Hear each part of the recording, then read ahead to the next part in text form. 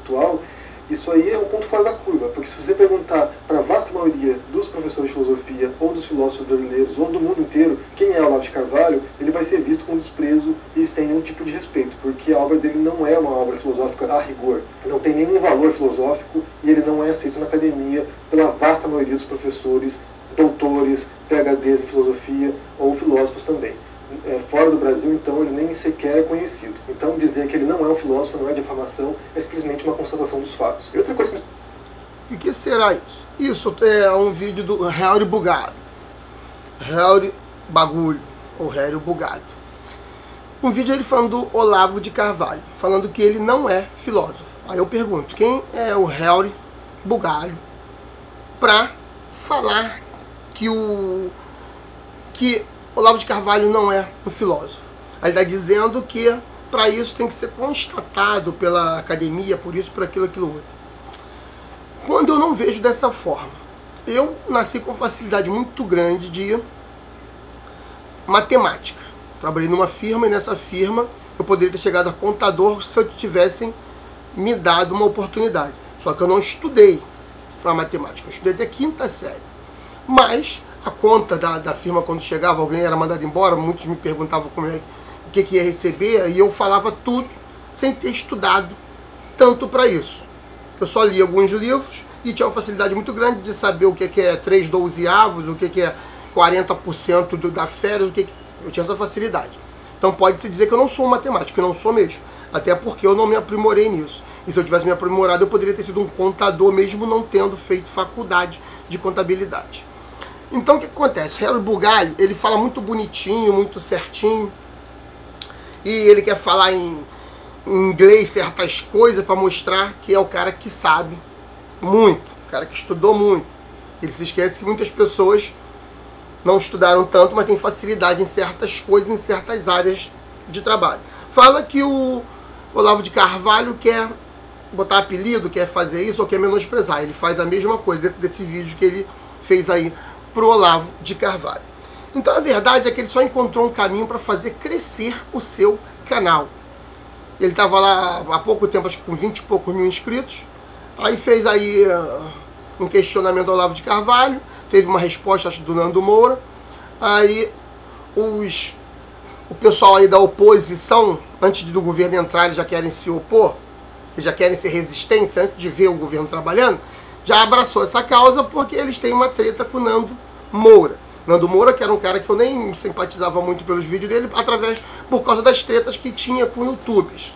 Mas vi que dentro da campanha política ele fez um bom trabalho de cabo eleitoral e ele, fez, ele teve uma participação muito grande para o Bolsonaro ser presidente.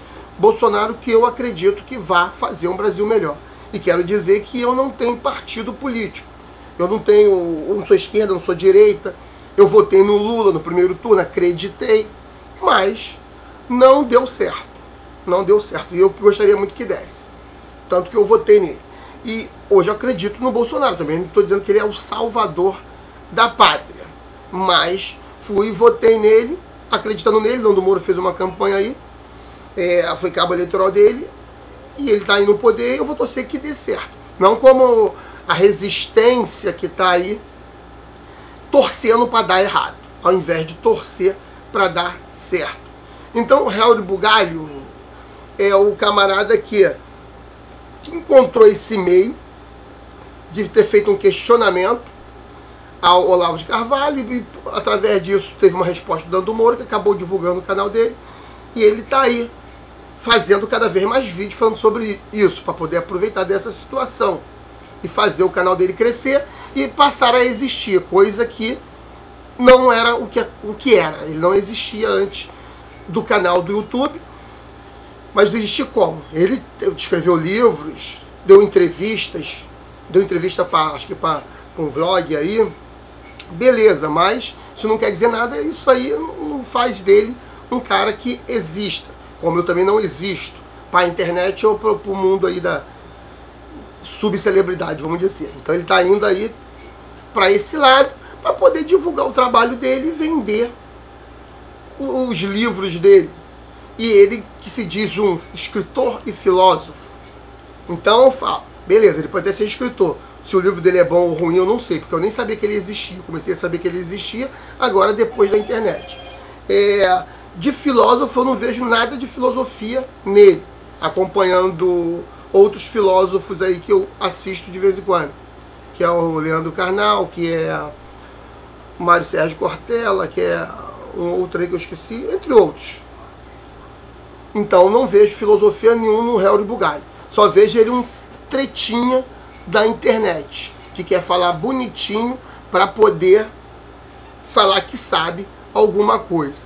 E ele vai falar sobre a falácia do espantalho. A fácil do espantalho foi um cara lá que escreveu que a fácil do espantalho é isso, isso, isso e isso. Quando eu posso falar que não é nada disso, do cara que é o dono dessa falácia, do cara que falou como que é essa falácia, como eu posso discordar que seja isso.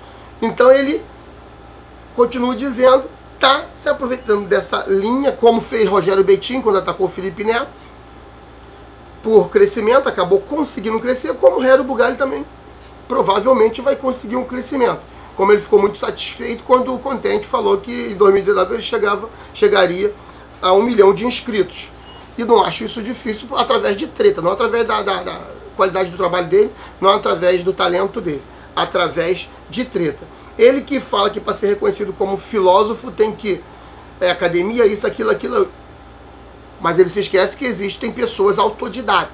Ele se esquece que o dono da Ravan, Luciano Hang, estudou até sexta série e é um milionário, se não bilionário, entre outros, se ele pesquisar na internet, que estudaram pouco e são também milionário e bilionário. Tem um camarada que fugiu do colégio com 16 anos de idade, não quis estudar mais e tem 50 empresas.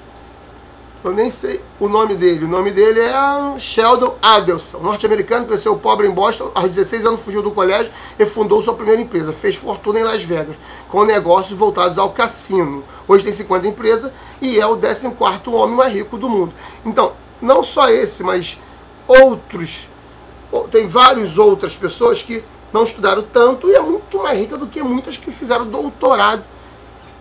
Então, Harry Bugalho é um charlatão que tá que aproveita dessa leva aí da, da, da, da, polêmica que deu, ele fazer o questionamento ao vídeo do Olavo de Carvalho, o Nando Moura ter respondido isso, e agora ele está aproveitando e ele vai fazer mais mil vídeos falando sobre esse assunto, para continuar seguindo nessa caminhada dos que não gostam do Nando Moura e do Olavo de Carvalho, talvez até mais dos que não gostam do Nando Moura. E sabe que o Nando Moura é discípulo de Olavo de Carvalho. Então os que não gostam vai começar a puxar para o lado do réu de Bugalho, como tem aí o Felipe Neto, Felipe do Nostalgia lá, esqueci o nome, é Felipe do Nostalgia, é PC Siqueira, várias outras pessoas, que vai abraçar essa causa e provavelmente Hélio Bugalho, um charlatão, vai crescer sim o seu canal e vai, vai conseguir vender seus livros, que eu não sei se é bom ou se é ruim, porque eu nunca li e acredito que nunca vou ler.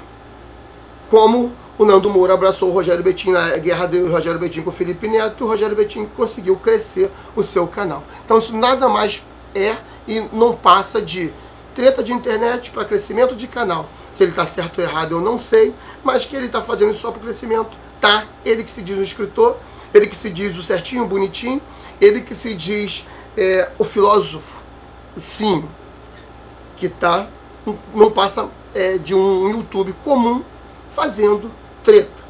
E antes dessa treta dele com o Olavo de Carvalho, com o Nando Moura, eu tenho vídeos antes desse tempo falando dele, fazendo meus questionamentos a ele. Então não venha dizer que foi só depois dessa treta que eu quero me envolver nessa treta e tô é, para poder pegar inscritos ou não. Antes dessa treta, eu já tenho alguns vídeos que eu falava do charlatão que ele é e do historinha que ele é. Quem está gostando dos meus vídeos, se inscreva no canal, compartilhe, deixe seu like. E até o próximo vídeo e fim de papo.